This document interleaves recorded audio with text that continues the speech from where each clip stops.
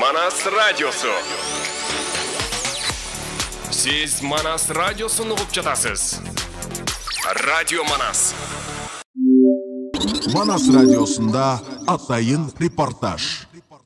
Саламатсыздарбы урматтуу теле көрүүчүлөр амансыздарбы ардактуу радио каармандар.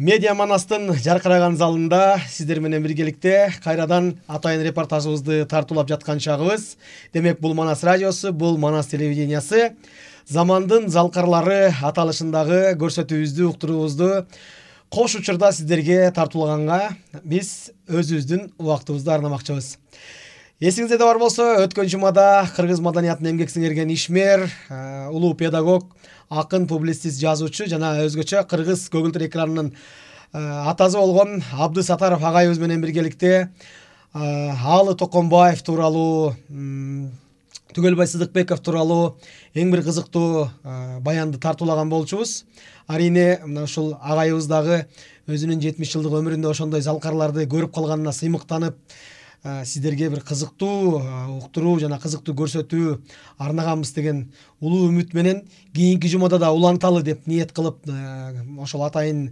репортажыбызды жыйынтыктаган элек бүгүн кайрадан улантууга кезек келип жетип турган чагы агай студиябызга дагы бир жолу кош келдиңиз кош болдук өткөндө эң бир кызыктуу жерине келгенде шекериңиз балыңыз оозуңузда болсун кийинки жумада уланталы деп бир токтоп калдык эле акындардын жыйналган жеринде бир казак акынынын чыгып жыйырма биринчи кылымдын жаштары кандай шорду эсенинди көрбөй калган деп бир ырсап айтып келип баягын ушинтип бүтүргөн ыры бар эле да. Анан ошол ырды угуп алып мен бир топко чейин таасирленип жүрдүм эле.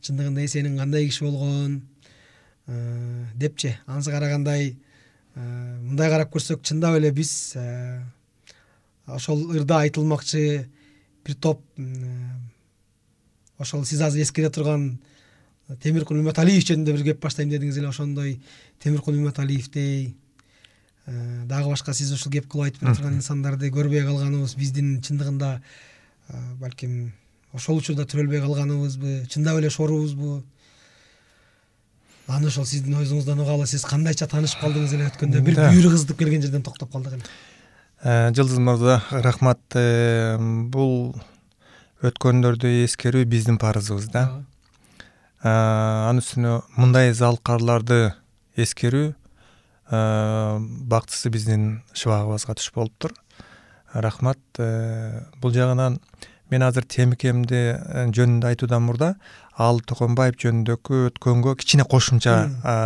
кыстармасы бар айтып коеюн да. Ушул алыкем жөнүндө сексен жаш юбилейине карата ошол программаны борбордук комитеттен айтты сексен мүнөт кылып даярдайсыңар деп.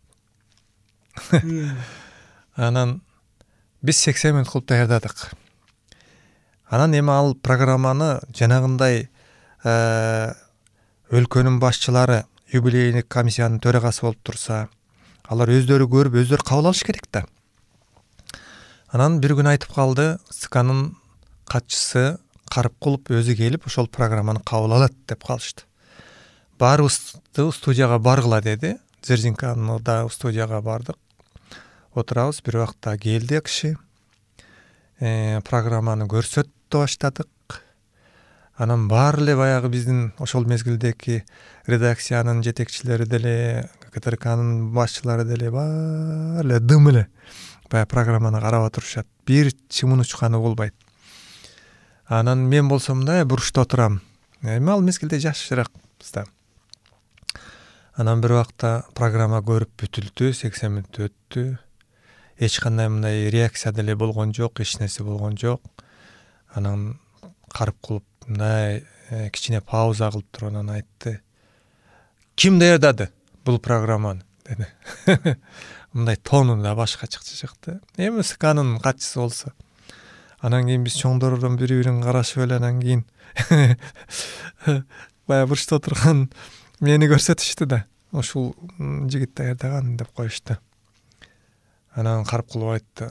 Сиз ошондо канча иштеп калдыңыз эми ал жетимиш жетинчи жылы жок ал ал эми сексен жылдык болуп атпайбы ал сексен жылдыгында бир топ эле иштеп калгам. Анын мезгилдерде уже дасыгып калган мезгил болчу. жашып калган кезде э анан эми баягы бизде мындай да.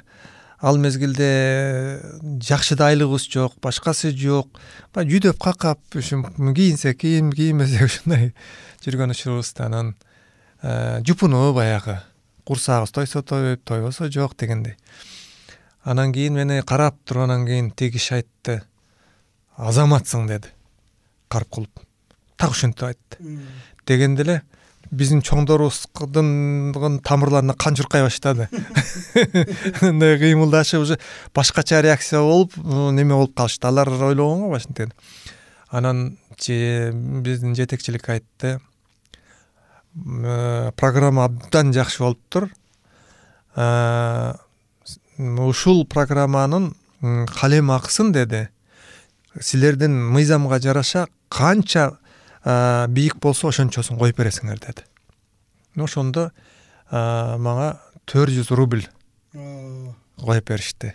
Эми ал чоң акча да бир жүз кырк айлыгың болсо өзүң ойлосоңуз көр анан ошону алып анан ошонун эми ырым кылып ал экенин эмесинен да анан кийин жеңеңе алып барып берсем диван ыс жок баягы жерде эле неметебиз да эми үйдө да эч нерсе жок. Анан ошо диван эки креслосу менен дагы бир майда чүйдү алып үйдү кичине неметип коюптур анан дайыма ушу үйгө барганда ошо отурганда эстейм да. Ушу алыкемдин немесине келген тиги депчи. Мына ошондой нерсе болгон ал боюнча. Анан эми булар э, темикемдер булар бир муунда мындайча айтканда. Ушул кыргыз э, адабиятынын анда совет адабияты деп койчу эми жалпы кыргыз совет адабиятына болуп ошонун негиздөөчүлөрү э, биздин алдыңкы баягы интеллигенциянын өкүлдөрү булар деле жакшылык көрүп чоңойбоптур э, булар деле азап тозок менен чоңойгоптур да. Анан темикеме ошол мындай болуп калды.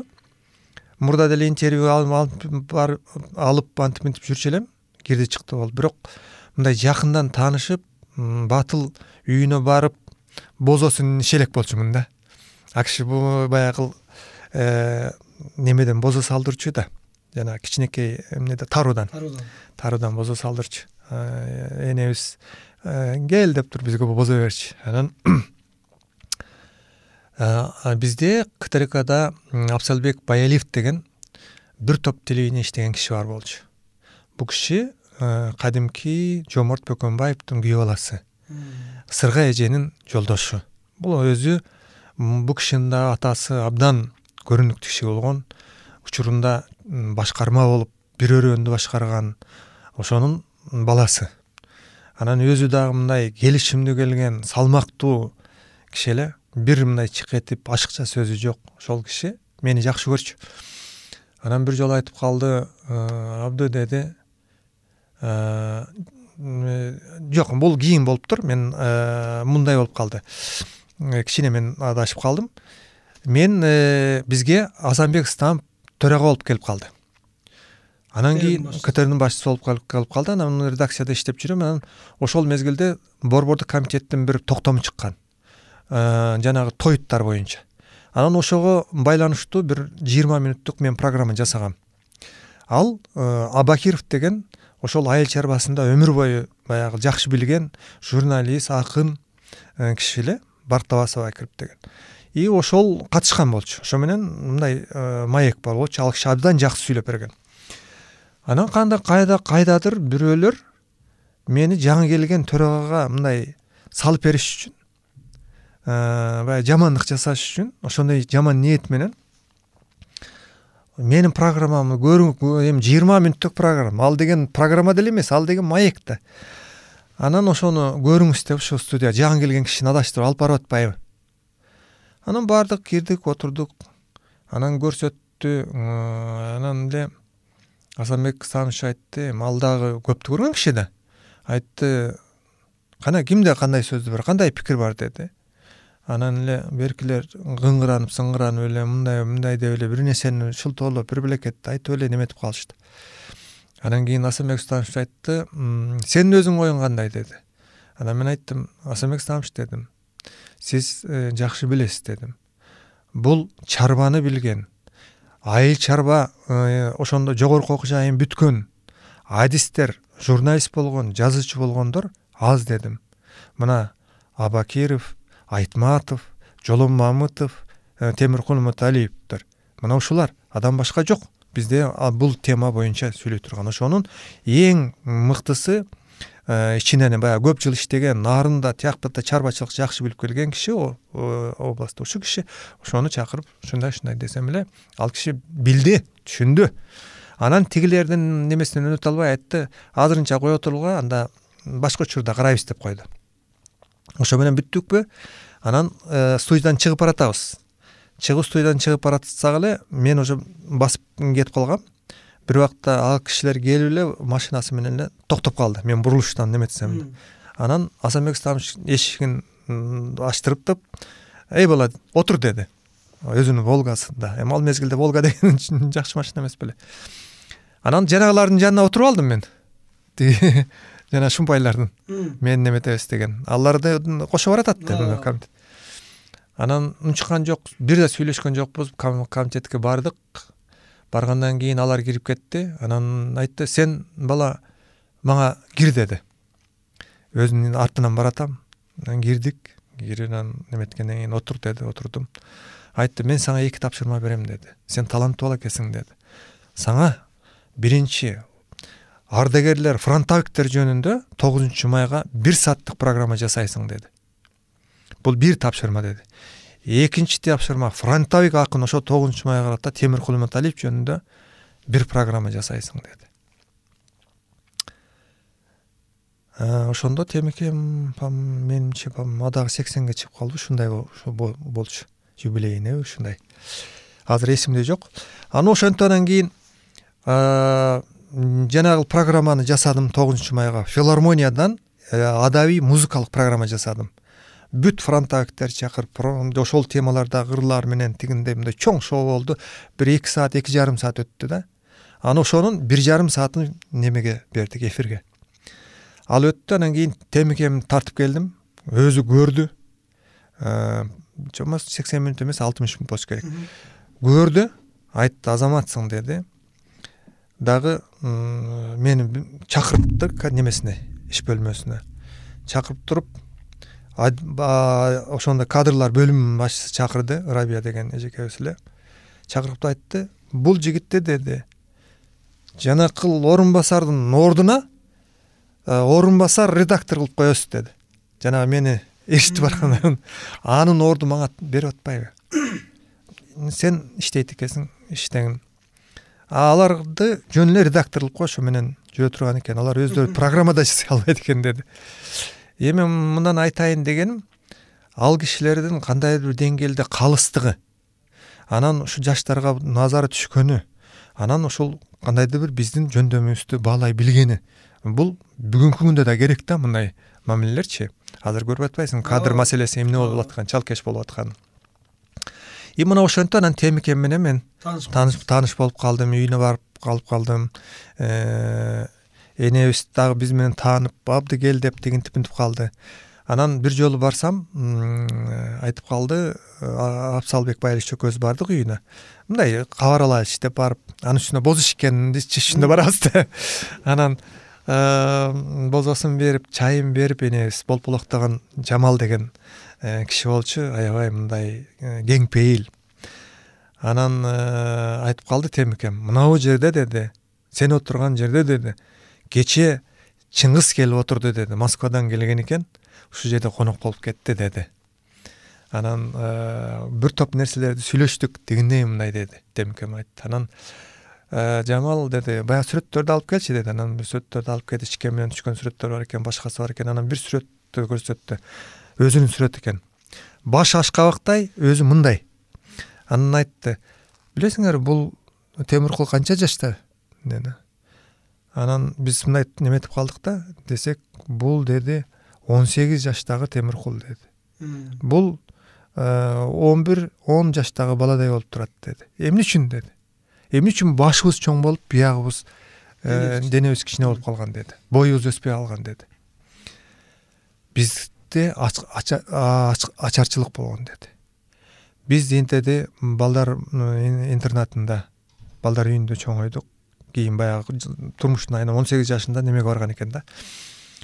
Тамак жетишпейт тиги болбойт ага чейин баягы интернатка барганга чейин. Ошон үчүн боюбуз төспөй калган и башыбыз гана чоңойгон. Ошондой болгонбуз. Көп балдардын баардыгы ушундай ушундай болгон деп. Кийин анан э, бир сапарда ошо темикемдин ошол жерде чоңойгон интернатына бардым. Ал жерден көптөгөн адамдар чыккан экен ошол интернаттан балдар үйүнөн. Азыркыга чейин иштейт бул э, ошо жалал абадтын ошол сузак районунда эле жанында балдар үйү экен.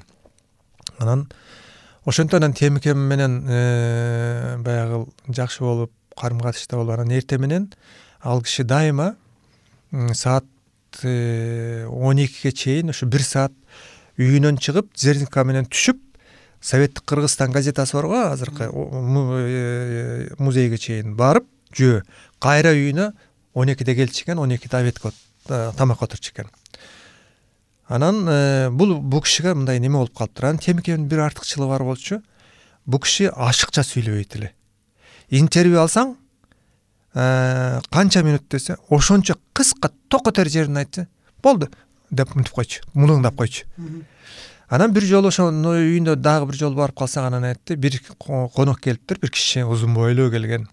Кеминден келдим деди анан айтты абды деди бул деди менин кубат поэмамдын каарманы ушул кубат деген ушул деди эмне болгонун айтып берчи кубат деди анан ал киши айтып берди ошо кеминде жашайт экен менга деди темикем экинчи өмүр берген деди бул э, тагдырдын э, мага берген шыбагасы деди э, согушта атамекендик согушта жүрүп темикем бул танк немесинин взводунун немеси экен командир экен анан баягы согуштан неметип баратып барат неметкенде бир танк өрттөнүп атат дейт да.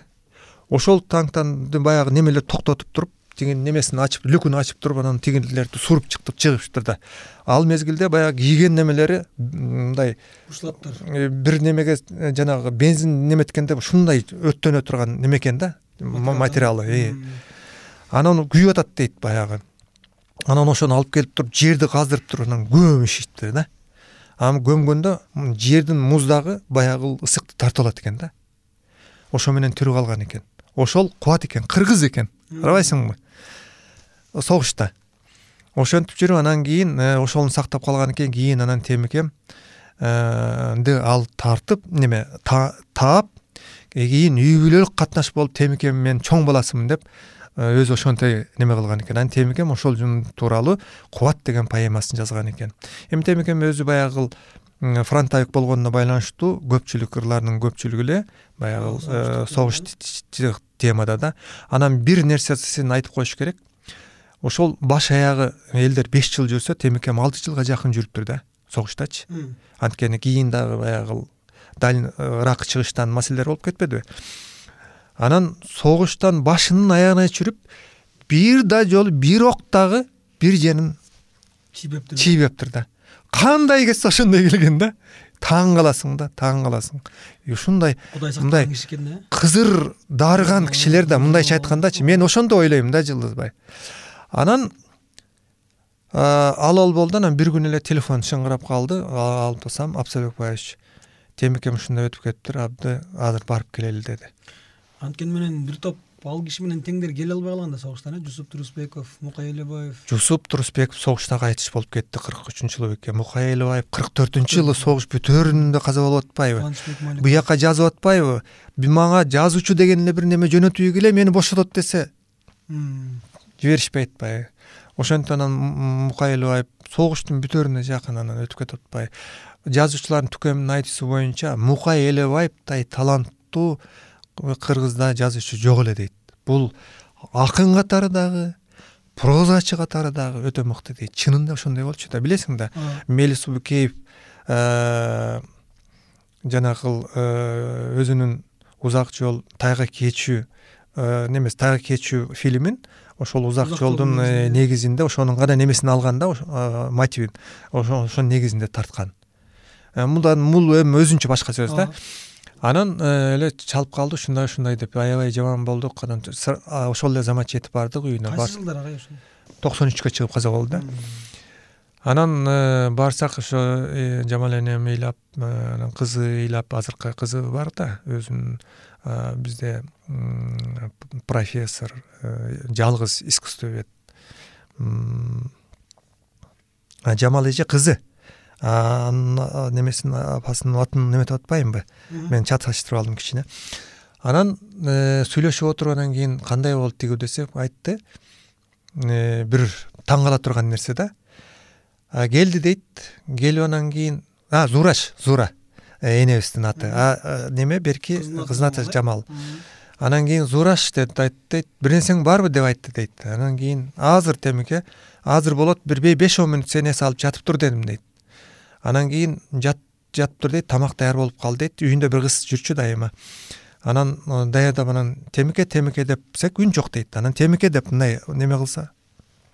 Жанында жок. Жок узап кетиптир анан эми мындан эмнени байкоого болот да жылдызбай мен муну көп ойлоном.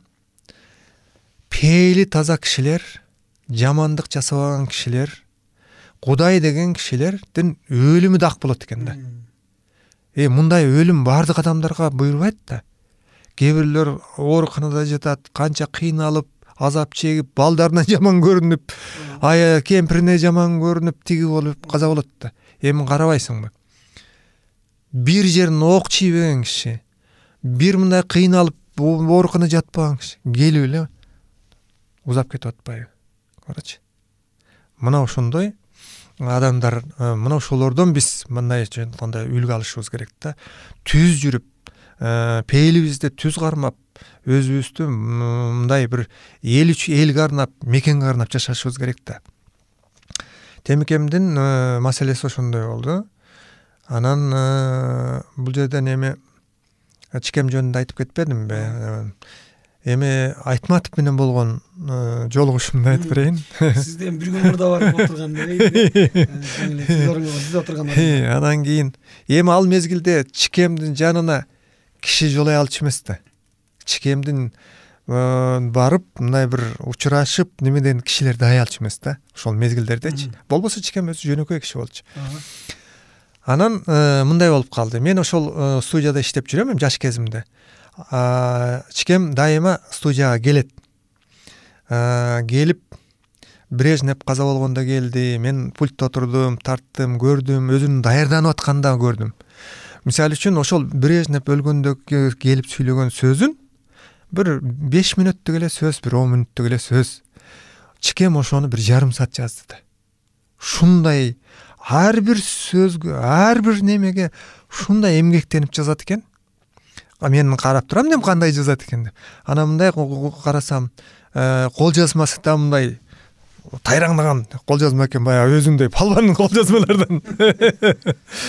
Анан эле мен келип анан даяр болдум деди анан чыгып сүйлөдү түз эфир болуп атат чикем аябай жакшы сүйлөдү адан кийин чикем бир жолу ушу э, москвадан келгенден кийин өзү кеңешбек асаналиев ээрчитип келди мыкты адабиятчы бул дагы жыйырма сегизинчи жылы төрөлгөн чикем экөө жашташ замандаш.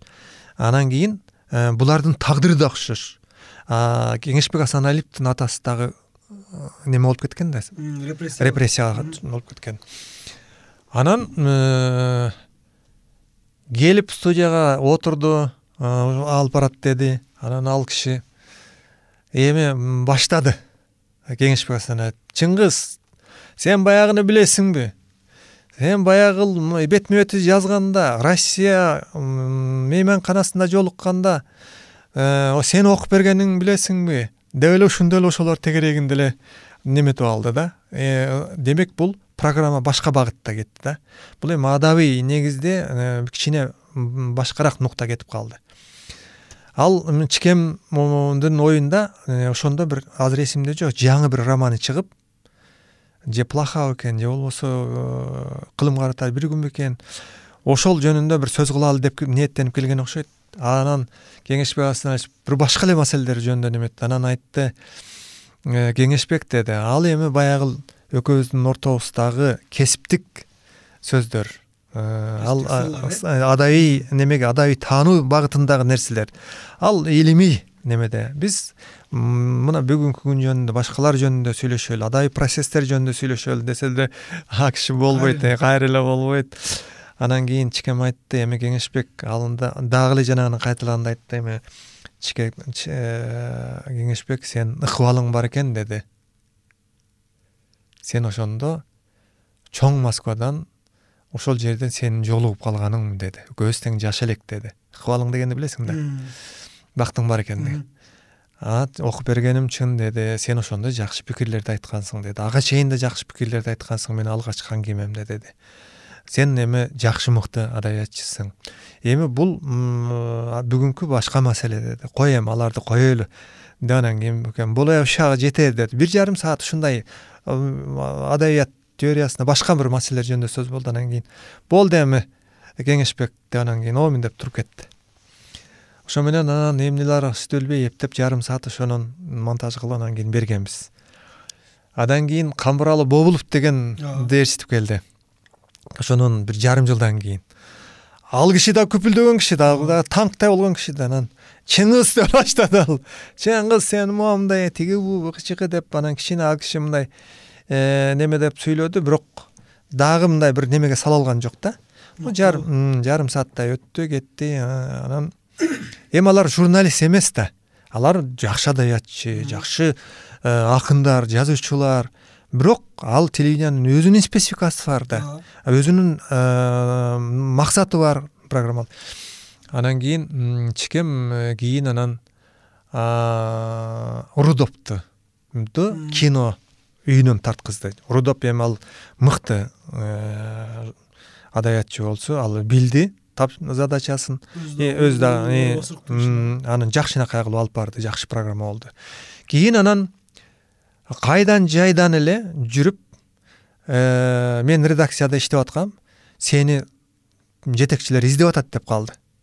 Биз эми ал жака чыгып кетебиз бери жака чыгып кетебиз да.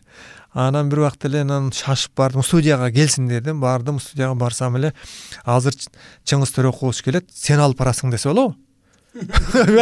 Менин оозуман сөзүм түшүп калды селейип эле калдым түзүк да кийимим жок анан жок мен кантип алып барам дедим жок сен алып барасың башка киши жок деди анан азыр келет даярдан деди немеге бар? каратер деп коебу бар деди тиги немеге бар?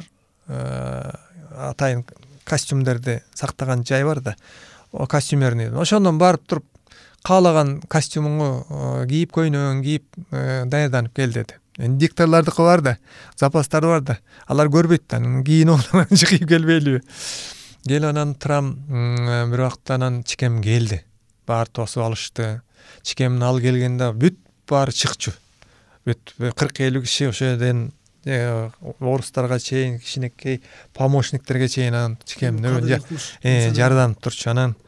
Келди анан парламенттен келген экен айтты балташкаевич айтты чикем менен балташкаевич жакшы болчу анан чикем айтты э балташ деди жакшы жүрөсүңбү тынчсыңбы эски малдын көзүндөй болуп баары бир жакшы көрүнөт экенсиң деп ушинтип тамашалап калды балташкаевди анан болпулдап калган киши болчу болуп калк этип ажыке жакшы ушундай ушундай деди. Анан эмне эле дүрбүп атасыңар эмне неметип атасыңар эмне деп неметип атасыңар деди. Анан балташкаевич айтты чике чай даярдап койдук элек чай ичип албайсызбы? деди. Түш болуп калган да.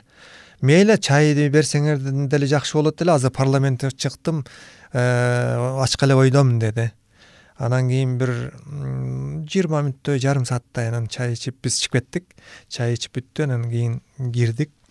Киргенден кийин анан айтты эмне э, ким алып барат эмне жөнүндө? Деди чикем ал өзү деле билбейт экен эмне жөнүндө экенин сизди да тааныбайт э. Мени да тааныбайт эми мен жаш э, жигит болсом анан айтты. Мына бул биздин журналист жигитибиз жаш ушул алып барат деди анан менин бутуман башыма чейин акырын карап карап койду сынак кишилер да деди анан мени сынап айтты. Эмне жөнүндө сүйлөшөбүз деди анан мен ага чейин тиги академиктердин китептерин окуп алгам да синологдордун китептерин алексеев деген конрад дегендердин китептерин окуп алгам чыгыш батыш маданияттарын тиги буларды боюнчачы анан оозума ошол сала бериптир э, чыңгызова чыгыш батыш маданиятынын карым катышы жөнүндө сүйлөшөбүз. Андан кийин сиздин жаңы романыңыз чыкты ал жөнүндө сүйлөшөбүз. Азыркы мындай учур жөнүндө айтып берсеңиз жакшы болот эле деп койдум үч точканы коюп койдум десем жакшы жакшы деп койду жакты да? Анан студияга киргиле деп калды. Эми студияга кирдик отурдук сен экөөбүздөй болуп анан чикем отурат асказоодай болуп жанында мен отурам э, табло күйүп турат кызыл болуп күйүп турат звонок бергенде кызарат раз два үчкө үч неметкен анан. Немени баштады эми кудайдан ичимен тилеп атам. Биринчи мен жаңылбайын деп тилеп атам да. Биринчи эле мүдүрүлсөң бүттү ошол программага толугу менен ошондой кетет да баягы толкун ошондой болот анан кудай жалгап анан кийин айттым саламатсыздарбы урматтуу эле көрүүчүлөр бүгүн ушундай э, кыргыз эл жазуучусу академик чыңгыз төрекович айтматовбек ушуга конокко келип отурат. Бүгүн биз ушул батыш чыгыш маданиятынын карым катышы жөнүндө жана жаңы романы жөнүндө тигүү деп анан айтып берсем эле жакшы мындай айтып бердим. Анан чикем суроо берип өссөм бир топко чейин копчолуп турду. Кичине ачыла албай атат да баягы. Оор киши да. Бир он мүнөттөй анан мен каратисттей болуп ар жагына чыгып суроону берип тээп бери жагынан тээп неметип атсам козголбойт анан бир убакта анан өзүнүн чыгармачылыгына өтүп кеттим десем эле анан жандана түштү чикем анан ошол өзүнүн дилинде турган окшойт анан азыр эсимде жок. Анан ошолор боюнча анан сүйлөшүп абдан жакшы сүйлөштүк. Бир кандай карасам таблону карасам саатты карасам уже элүү тогуз минут болуп калыптыр бир саат болуп калыптыр анан тияктан көрсөтүп атышат бул депчи э, кыскарт деп эми токто деп атат да. Анан кийин эле э, чыңгыз төрекович абдан жакшы маек куруп бердиңиз сизге чыгармачылык ийгилик эми э, москвадан келген сайын бизге ушундай кайрылып туруңуз тигиндей мындай деп анан кийин баягы жакшы сөзүм айтып неметсем анан ошол чикем анан ошондо биринчи батасын берди да. Силерге э, айрыкча жаштарга сага дагы чыгармачылык ийгилик деп ыраазычылыгын билдирди. Мен ошону ошондой кабыл алдым да. Ошол ошол болду ошо менен э, программа кетти. Бул өзүнчө бир сенсация болуп калды. Э, мен түкөн менен бир жолу таанылсам айтматов менен экинчи жолу тааныдым анан кийин анан эки миңинчи жылы чикем сүйлөй мен бир немеге чыгып айта турган сөзүм бар тигүү деген экен анан мага айтышты бар деп. Анан үйүнө бардым. Бул э, өзүнүн үйүнө жогору жактагы резиденциянын жанындагы анан барсам э, үй өзү чыкты чыгып анан келдиңерби деди. Келдик деди. Анан азыр мен кичине чарчап калыптырмын бир жарым саат эс алып алайын деди. Силер э, техникаңарды коюп күтүп отургула тигүү деп иш бөлмөсүнө. Техниканы койдук антип минтип китептерин карадык тигүү кылдык.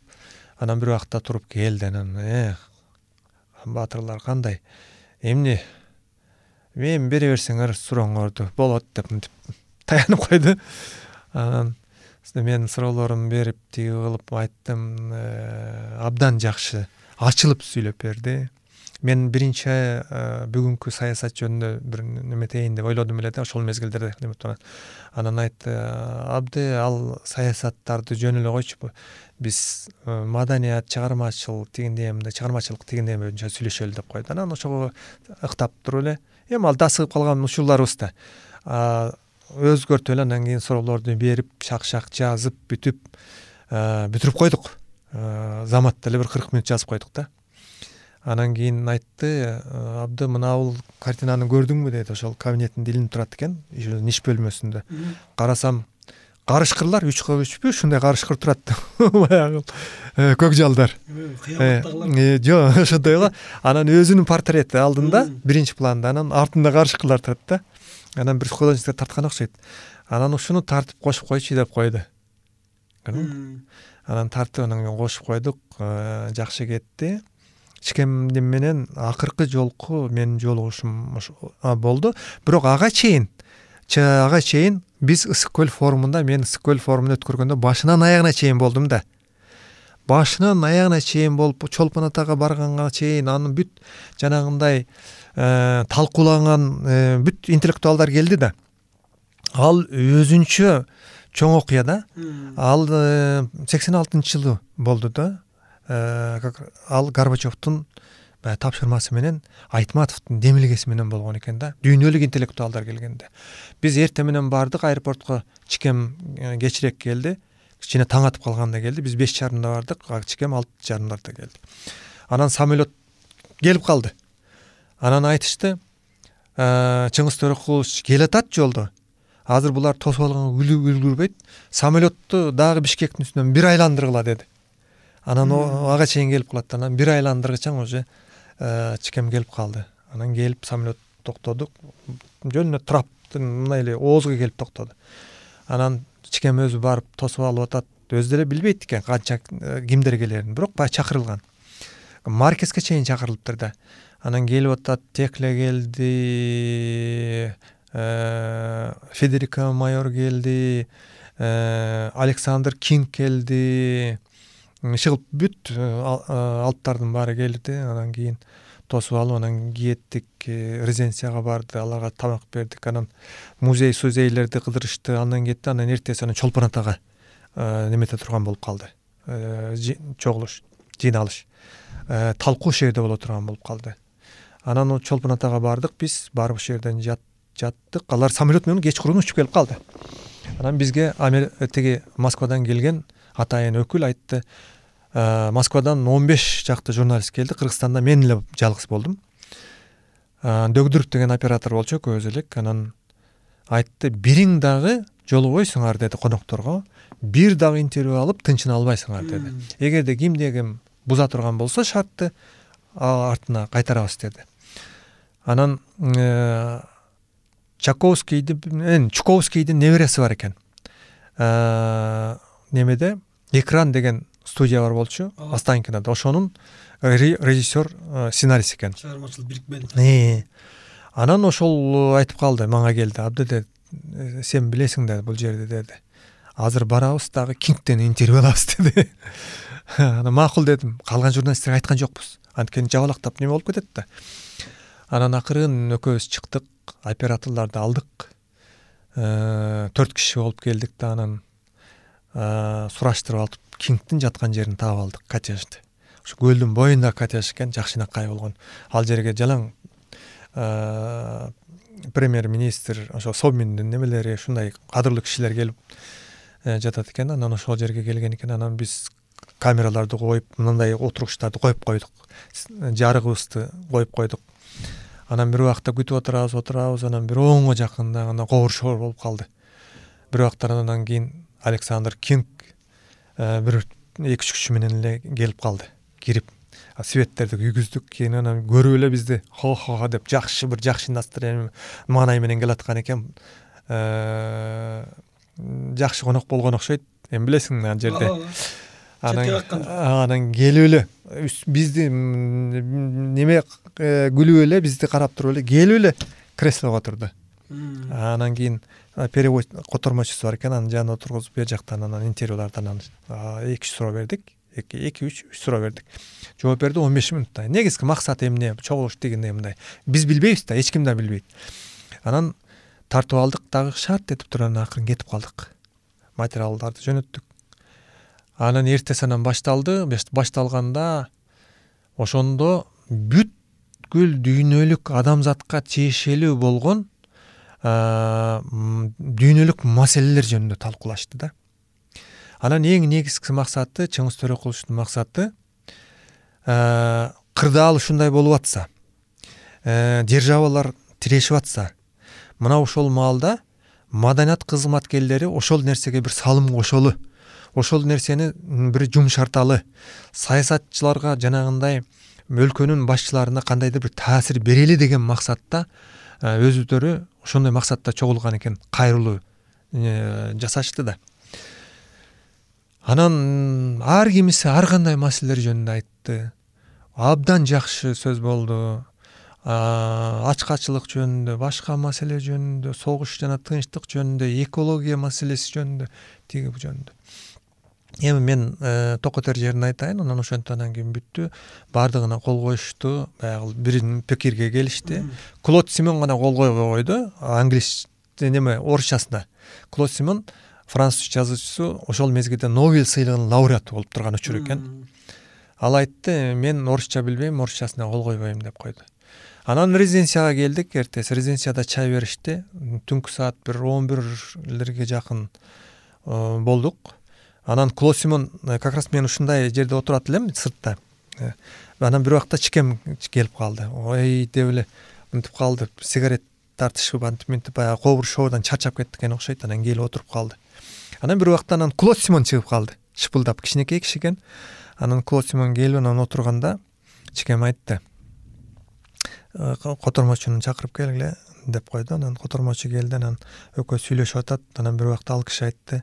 Чыңгыз деди сен франциянын парижден паланча километр жерде бир жер бар ошого сен бардың беле деди «Э, жок мен барган жокмун деди ал айтты франциянын абдан мындай кооз жери жок чикем айтыптыр «Э, ошол жерге бардыңбы деди клосимон жок барган жоксуң деп париж франциянын эң кооз жери ошол деди барбасаң барып көрүп кой деди анан клосимон айтты «Э, сиз эгерде парижге барып калсаңыз сөзсүз түрдө мага жолугуңуз мен жанагындай торпокту шишке сайып алып баягы э, шишкебек жасайт го ошонун абдан мен колуман жакшы келет ошону мен өз колум менен сизге жасап берейин мен фазендам ушул жерде деди Э, паланча километр деди анан чикем рахмат тигүү деди анан а көрсө уже ошол жерден тиги жерге кол коюп чыккан экен клод баягы жакшы неме менен чыккан. ооба чыккан экен анан э, экөө жакшы неме болуп отурду анан чикем айтты. Жеңиңерди чакырып койгулачы деди бир балдарга. Анан чакырып келди э, эжекебиз келди. Анан баягыдан алып келчи деди анан бир мындай кутуча. Алтымышевдин бальзамдары экен. Кичинекей кичинекей баягы белек үчүн жасалган неме экен да анан. Клод симонго берип атат. Мынабул чарчаганыңда мына жерге сыйпайсың мынабул уктарды мына жерге сыйпайсың мынаны мына жерге сыйпайсың мынын иши кылып баарын неметип туруп анан кийин берип неме кылып анан күлүп ал аябай ыраазы болуп кайра ушундай ушундай неметти анан ошондой эмнени көрдүм мен. Чикемдин улуулугун чикемдин кыйындыгын чикемдин э, айкөлдүгүн ошол чикемди бүт дүйнөнүн интеллектуалдары алаканына салып момунтип сыйлап турганын көрдүм да. Бар чике чике чике деп турушту да. Өзүң ойлоп көр федерика майор юнесконун генеральный директору профессор биология илимдеринин доктору александр кинг ошол мезгилдеги батыш интеллектуалдарынын президенти текле бул дүйнөдөгү эң бир мыкты художник. Андан сырткары артур миллер американын эң мыкты драматург жазуучусу дүйнөлүк жазуучусу. Э, айтор мына ошондой яшар кемал түркиядан. Э, мына ошондой жалаң улуу адамдар келишти да. Ошолордун баардыгы ошондой чикеме мындай таазим кылып чикемди сыйлап ыйба кылып неметип турду баягы колдо бар алтындын баркы жок деп кээ бир учурларда айрым адамдар ошону да көрө албай өдүлдүй дөөдүрөгөн сөздөрдү сүйлөп э, иштарды кылып бул ушул пенделерге ошол мүнөздүү окшойт деп койдум да. Эми канткен күндө дагы ал э, залкарлар улуулар улуу бойдон кала берет экен майдалар ошол майдаланып жанагы үрүп үрүп анан кийин дагы бир нерселерди колунан эч нерсе келбей анан тагдырына нааразы болуп өзүнүн кем чонтойлугун башкалардан көрүп ошентип өтүп кетишет экен да мына ошондой да кишилерди көрдүк турбайбы арийне абдан сонун маек болду мыкты эскерүүлөрдү айтып бердиңиз агай өзүңүздүн дагы мынакей кирип келген жетимиштик мааракеңизди куттуктайбыз мына ушундай өзүңүздүн э, мен жөнүндө менин баскан чыйырым жөнүндө э, көрсөтүү кылгыла уктуруу кылгыла эмес мен кимдерди көрдүм мен кандай залкарлар менен таанышмын алардан кандай таасир алдым ошолорду мен жалпы көрүүчүлөргө угармандарга тартуулайын деген ниеттин жетегинде студиябызды бир жаркыраган адабий бир атмосферага толтуруп келип сүйлөп берип олтурасыз. Э, сизге да кажыбаган кайрат каалайлы ден соолукта болуңуз бул э, замандын залкарлары э, ушундай бир атайын репортаж чыгарылышыбызды дагы да уланта турган болсок көрүп калган залкарларыңыз жөнүндө алардан алып калган таасирлериңиз жөнүндө студиябызга келип сүйлөп берүүгө даярсызбы агай? Кудай буюрса сүймөнкул чокморов болотбек шамшиев жөнүндө дагы айтып берсем болот. Булар дагы өзгөчө адамдар айрыкча сүймөнкул чокморов деген бул ошол жыйырманчы кылымдагы бир жаралып калган бул дагы бир өзгөчө бир өзүнчө орду бар э, киши. Э, шамшиев дагы режиссер катары мындай таланттуу кишилер аз болот. И биз болсо эми э, жылдызбай биз ал ошол кишилердин мындайча айтканда изибиз кешигибиз да сага рахмат. Сен дагы жакшы адамдын уулусуң ошон үчүн мен келдим сени менен сырдашкым келди э, сен мына атаң дагы жакшы манасчы болгон жакшы чечен адам болгон чыгармачыл адам болгон тилекке каршы эрте өтүп кетти э, бейишин берсин бирок сендей уулду тапкан ошол атаңдын өзү дагы бактылуу киши экен биз бири бирибиздин кадырыбызга жетип ушул улуу адамдардын жарыгын башкаларга дагы калтырышыбыз керек да рахмат. Сөзсүз жеткизип берүү биздин милдетибиз болуш керек. Э, мага эмне адабияттан маданияттан десек анда биз жаңылган болобуз э, маданияттын маданияттуулугу адабияттын негизги өзөгү мына ушундай ошол учурда көрүп калган билип калган окуган таасир алган э, абдыз сатаровдой болгон агайларыбыз аркылуу келечек муундарга өткөрүлүп берилмекчи. Бүгүн биздин студиябызда конокто кыргыз маданиятына эмгек сиңирген ишмер акын жазуучу Э, улуу педагог абдысатаров агайыбыз болду. Биз анда атайын чыгарылыш э, уктуруубузду жана көрсөтүүбүздү жыйынтыктайбыз. Программаны алып барган мен жылдызбек турсунбаев болдум. Келаткан жумада кайрадан амандашканча кайрадан эфир толкундан үн алышканча жакшы туруңуздар